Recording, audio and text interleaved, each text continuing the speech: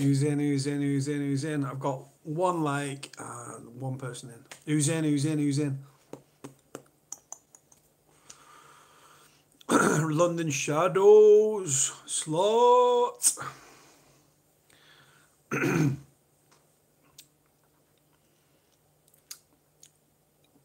Wait for more people to come in. I weren't really. I'm not really in a mood to do a live right now, but people were like, "After it, just get one on." Yeah, man. What do we reckon, guys? Was it a goer? Was it? A, it was. I'll tell you one thing. It was a lot better than last week's episode. Tell you that for nothing. um, I didn't go into full detail. Um, it. I touched base with things, and the reason that I touched base with things is because everybody knows what went on uh, with the individuals and stuff, right? It's not a secret. It's out there in the public domain. So I just said, yeah, I was on the doors, got involved with this, that, and the other. Um, didn't incriminate anybody, didn't name anybody. yeah, nine of the 11, bro. Nine of the 11. I used to run the door. I was the head doorman at a club called Legends in Ashton under Lyne, and um, yeah, it was fierce. It was a it was a mad club. It was fucking mental. You had Molly's, you had the bedroom, and you had Legends, which were the three most just fucking nuttiest fucking clubs, guys. It was early two thousands. Um, it was fucking mental, really fucking mental. Um, good times, man. The the club that I used to run the door, I became. I'd been working. Uh, um, I can't remember where I come working from, but I was offered the head doorman at this club, right? Now, like I said, it was just. Um, I just got offered it, so I was like, "Yeah, I'll take it." So I became a doorman. Well, I say a doorman. There's only two of us. You can't really class yourselves in a doorman. But the club was called Legends. Search for Legends Ashton or Legends Ashton under Lyne L Y N E right? You'll see the rave scene, what the club was like. Was fucking nuts. So yeah, that's where I was the doorman. It was for oh mate, it was full of lunatics. Absolutely, everyone was off the nut on ecstasy and cocaine, and it was full of gang members. And it was Ashton on the line. You might think, well, Ashton. I used to do the door at uh, Legend, uh, not Legends.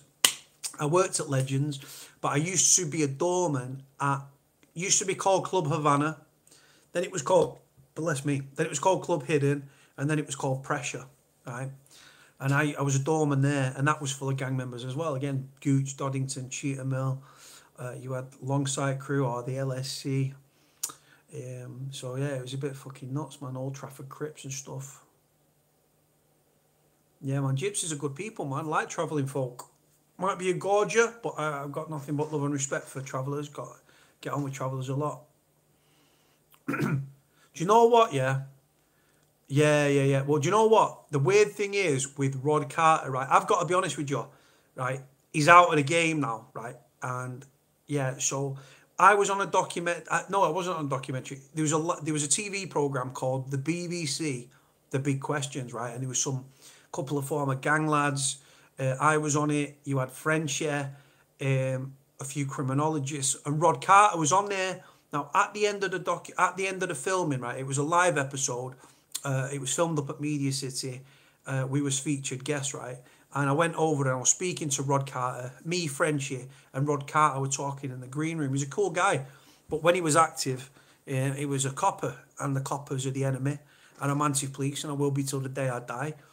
Um, but like I said, there was no, he had no legal authority, and I was out of crime. Frenchie was away from crime. Rod Carter was not a copper. So we, we had a we had a we had a nice little conversation, just the three of us.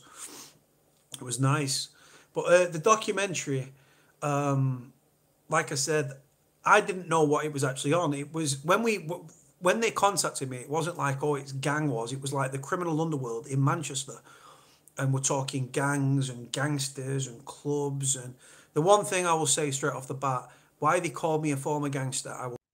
They classed me as a gangland enforcer, not a word I'd ever use, and not not something that I even revel in. It's like, no, no. I was just loyal to people. That was it. I was nobody. I was just loyal to people. Um, but yeah. So when he was asking me questions and stuff, right, you can't. Um, Dan, I'll have to. Dan's in America for those that don't know. Dan's over in uh, Swissvale, uh, in Pittsburgh, Pennsylvania. Uh, Dan, I'll try and sort something out, and I'll try and get it to you in some regard or another. Uh, hopefully, I can get it uh, filmed and sent to you, or I can ask the uh, the film crew uh, to send me a copy. But yeah, with the whole thing, right? Have you noticed, right? When I spoke, I didn't speak out of turn, right? I was like, yeah, I did the door. I became involved with X, Y, and Z. I didn't name them. I just said, yeah, I, well, I, I named the, the, the gang that were prominent in the club. Um, but I didn't mention individual members because you just don't do that. You don't incriminate them and you just don't mention them. Um, but yeah, and that's why when it said in the thing, I said nine of the 11 I used to have like when I was working a door, and that was it. But the club was the club was prominent with the drug scene. Uh, the, the gang wanted to sell drugs exclusively in the club. Um, I wanted to make money. They wanted to make money. We came to a mutual arrangement, uh, and then that was it. It just sort of ran from there.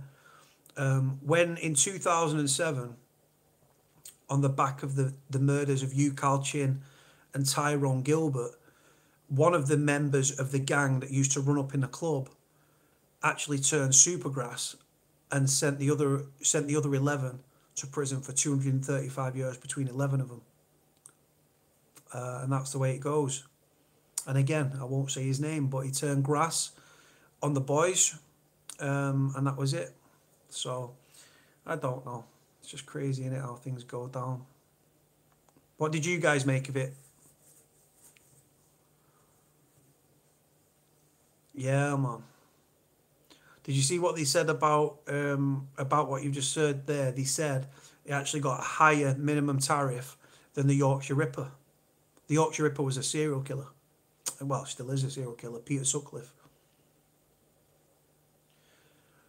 It was different, guys. Like I've said, if you if you look, if you go on my Five app and you you type in hard men street justice or whatever, it'll come up watch last Monday's episode on Birmingham. Now, like I said, Birmingham is every bit as violent and as dangerous as Manchester, a million percent.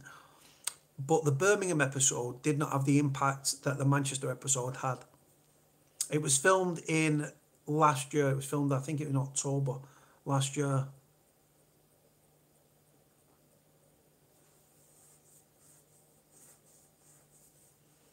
It was recorded last year. 2019. What did you guys make of it? Who watched it? Who didn't watch it? Who's going to watch it? Like I said, uh, just a small part of it. The feature was obviously Matthew. Yeah, the Manchester one was better. I don't know. Not many people might have watched the one last week, but last Monday there was an episode that aired on the Birmingham one last Monday. I'll tell you what might even beat the Manchester one. Liverpool next week there's Liverpool coming up next Monday. Should be a good watch. But like I've said, when you do these documentaries, you've got to be careful what you say. I was just just open with it. The drugs gang that I was involved with, again, no names, that was in Rochdale. Uh, they, they was running big amounts, big, big amounts on a national scale. Big, big, big, really, really interesting. Uh, life and stuff like that. And I was running things. I ended up running there, running it for them, uh, and I was debt collecting as well. And then moved on from there. And then, like I said, through doing the doors, came into contact working for gangsters and stuff like that on the doors. Uh, then became the doorman at a club where it was prominent with gangs. Became involved with them, and then through working the doors again, became involved with Dominic Noonan. Um, just goes down that way, doesn't it? Like I said, when I was born, I used to, I didn't want to, I used to want, I used to like fear like never having any life experience and stuff. Um, and I used to want life experience, and I'm 36 now, and I've got a lot of life experience. I'm nobody, guys. Again, nobody. Just be because you're on TV doesn't mean you're famous. If anything, I'm an I'm an idiot. But like I've said, but like I said, um, a lot of these a lot of these TV things and stuff come off the back of me being associated with Dominic Noonan. Dominic helped me a lot, a hell of a lot. And like I've said, been involved with drugs gangs. That was a national scale operation. That no doubt about it, national scale operation. The amounts of the amounts, the kilos and kilos and kilos. I was sick of seeing heroin and crack cocaine. Never taken them, never would take them, but I was sick of seeing the sight of them. People just standing you like fucking like holders full of dough and that, and then like I said, it was never my dough, but I was paid for what I was doing. I was paid handsomely, and rightfully so. But like I said, um, I've ne- I'm nobody. Again, I, I can't reiterate that enough. I'm absolutely nobody. There's no ideas of grandeur here, right? It's just one of them stories. Interesting documentary, guys. True crime. Like I said, I didn't incriminate anybody. Everything that's out there is already out there in the public domain. Uh, there's docu- that Rod Carter. Go on YouTube and search for bringing down the gooch, right? And Rod Carter was one of the mainstays of that program. Uh, and he drives around Moss Side and uh, Rusholme and uh, all them sorts of areas where these murders were going down Anson Road in Longsight and things. If you if you search on YouTube, bringing down the gooch, I think it's forty six minutes, fifty minutes, right, and that's it. Really interesting documentary, um, and like I said, from what I remember of watching the documentary, I don't think there was a mention of the kid who brought down um, the the whole the reason that everything imploded was on the back of one of the shootings the the car wasn't destroyed it wasn't burnt out and there was forensics from from balaclavas and stuff in the car and like there was leather seats in one of the vehicles. I'm saying this because i watched the documentary. Um, and yeah and one of the gang members who's now been given a new identity um, he turned supergrass on the boys, and he and he became a prosecution witness, and that was it. Now I've not seen this article on Liverpool. No, Liverpool's on next Monday, if my memory serves me correctly. Uh, I was a bit worried though. Did you see? Did you see it? Right. I thought I'm chatting on to these lot about what's going down and stuff, and then it's moved it to Liverpool. So I didn't. I was a bit wary about that. But like I said, um, these documentaries guys they, they contacted me and they didn't say oh it's specifically on gangs no no no they just said it's about crime and prison and um, being involved in that world and stuff right so i was like oh okay so i went down and stuff i liked i liked him on the phone so i was like yeah so i went down and that was it we had a few talks backwards and forwards for a few hours and then I went down to meet him in Manchester. We filmed it in Barton Arcade, uh, below the below it. So yeah, but like I said, again, I'm absolutely nobody, guys. I, I don't proclaim to be anything. I'm not. I'm nobody.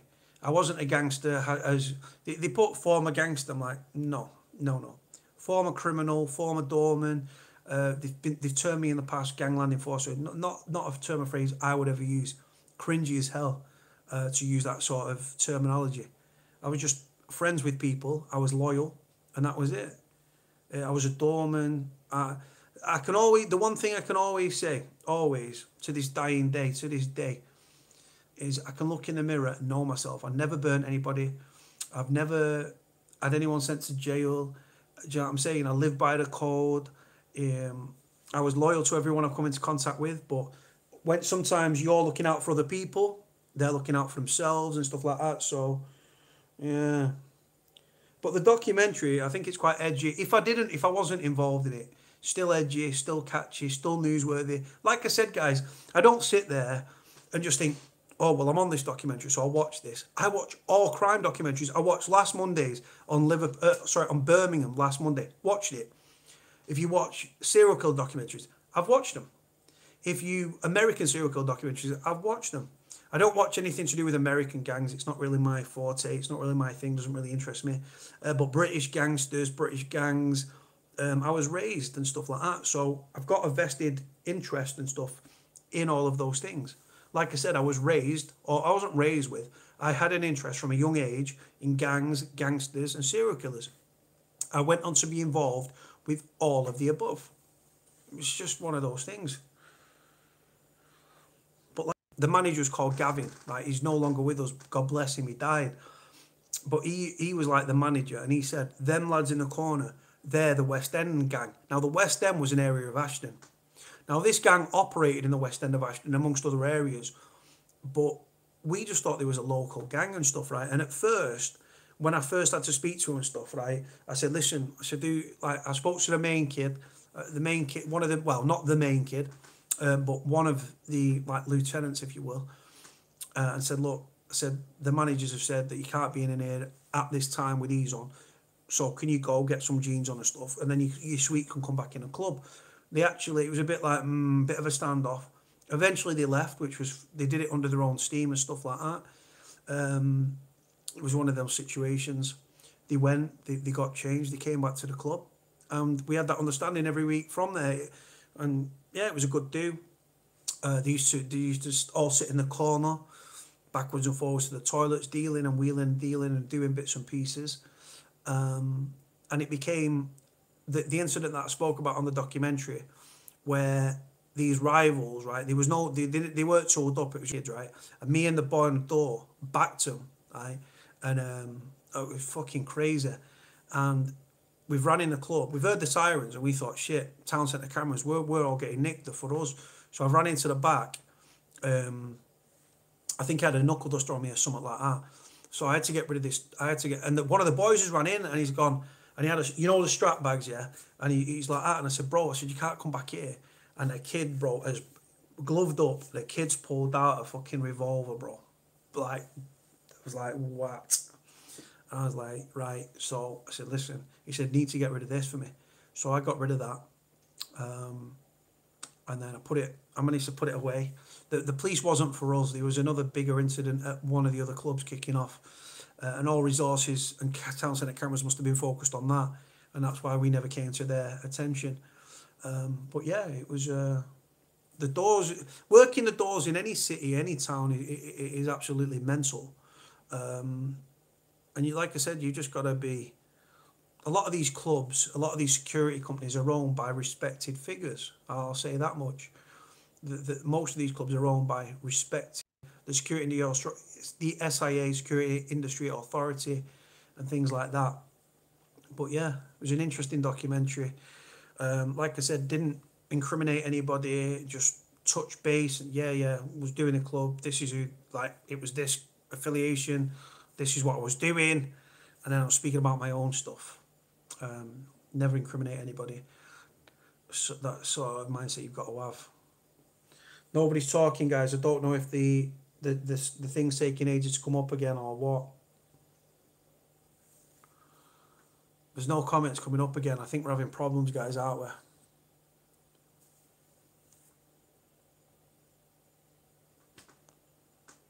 I might knock it on the head, guys, because I th- I don't think we're getting anywhere, are we?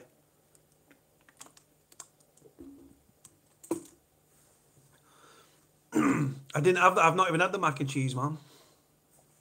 Thank you, Julia. It's gone, I think. What's gone? How are you finding isolation? Piece of piss. I've been in prison, so isolation's a piece of piss. And all those idiots, oh, um, isolation is, very much like um, prison. No, it's not. Check my mobile for what?